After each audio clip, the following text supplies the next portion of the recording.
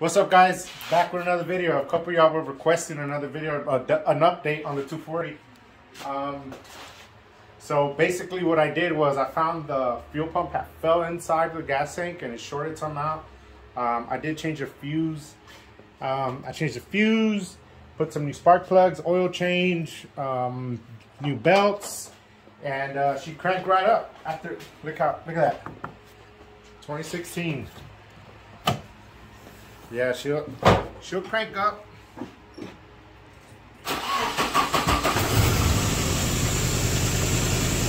She doesn't have the, the intake on, but the mass airflow sensor's off of it. But yeah, um, other thing I did do, I bought some side skirts for it. I need a, they're fiberglass, they're old school fiberglass side skirts, so I gotta kind of like shave them to make them fit, or you know, grind them down, I guess. I did also get some valances for it. Yeah. I spray painted all this, but I mean, it matches. It matches pretty good. I mean, I don't really care, but it's close enough. But they kind of go like this. Like back up so you can see it good. Like get up. So you got kind of like think I'm gonna like rivet them on there somehow. There, yeah, just like that. But I think it'll look good.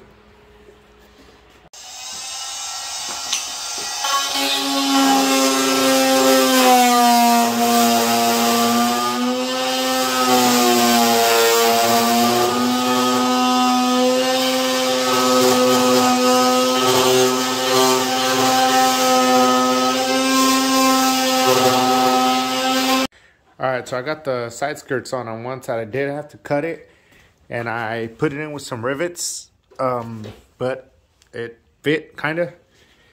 So now I'm putting in the valances in the back, and uh, it's coming out pretty good. Um, I did have to heat it up with the heat gun uh, to make it fit, kind of mold it to it, but about to put some rivets on it now and see how it comes out.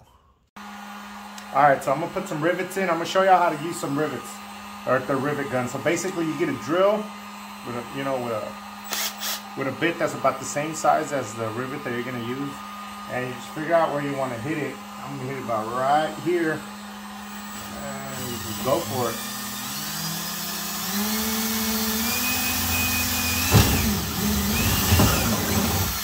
All right, once it's through, I am gonna repaint these, but for now, just stick them in there. So you just stick it in there, that side. I get your rivet gun. Plus, if y'all see, I am heating it up at the same time. Because I'm kind of like trying to mold it to shape. It is fiberglass, so it's not a perfect mold. So basically, you just squeeze on it until it clamps down. It'll snap off break off on its own and it's on there. So that's pretty much how you use it. I'm gonna put like a couple more down here, but I still gotta hit, hit it with the heat gun good. And um, we'll get back to that one. I'll show you how it looks.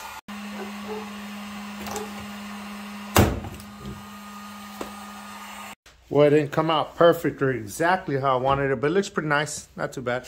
Um, we're gonna go ahead and put the wheels on.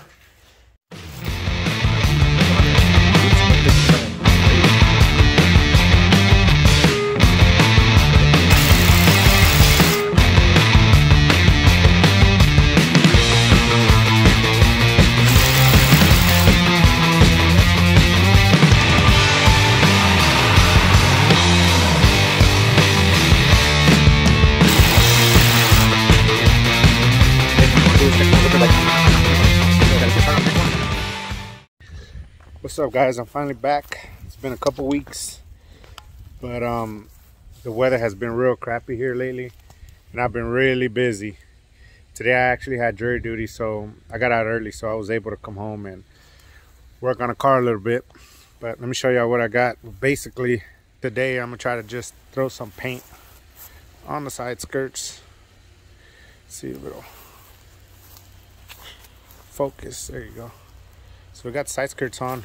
I had to cut the end, like the ends of the side skirts to make it fit a little, and I filled them up with some of this stuff. It's like expanding foam, um, but you can see it there. It doesn't look too bad. Hopefully it'll, I'll sand it down a bit, and then I'll throw some paint over it, so shouldn't really see it, but here we go.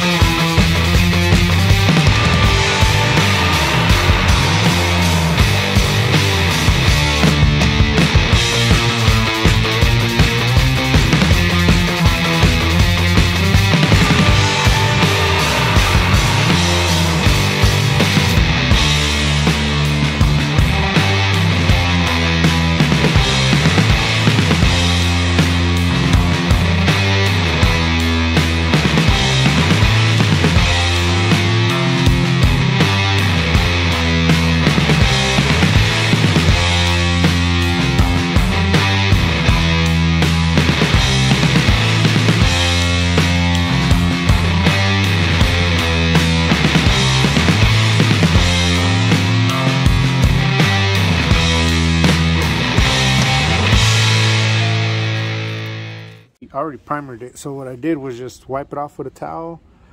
Then I went over it with some Scotch-Brite, wiped it again, threw some Perfect Match scratch filler primer on there. What I'm gonna do next is wipe it down one more time because it's, it's been dry. Um, then I got this Perfect Match Universal White. It matches pretty good. I did the the little um, valence back there and it looks decent. So remember guys, I'm not a professional and I really don't care if it looks too professional. You know, it's just a car I like to mess around with. I've had this car for over 10 years, so it's been something I've been messing around with for a long time and I could take it, you know, to get it professionally done, but that wouldn't be fun.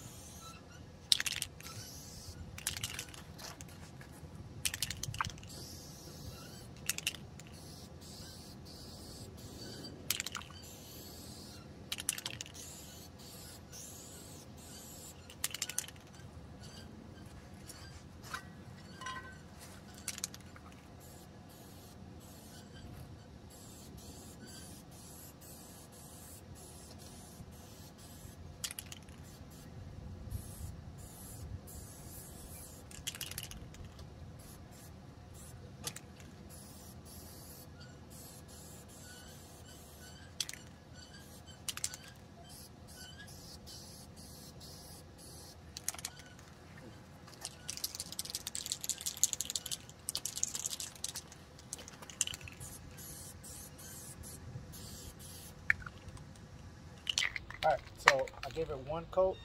I'm let it sit for about, I don't know, I think it says like 20, 30 minutes. Let it dry and then I'll hit it with another coat. All right, just gotta put the last coat of uh, clear and should be good. Let it dry for a little bit.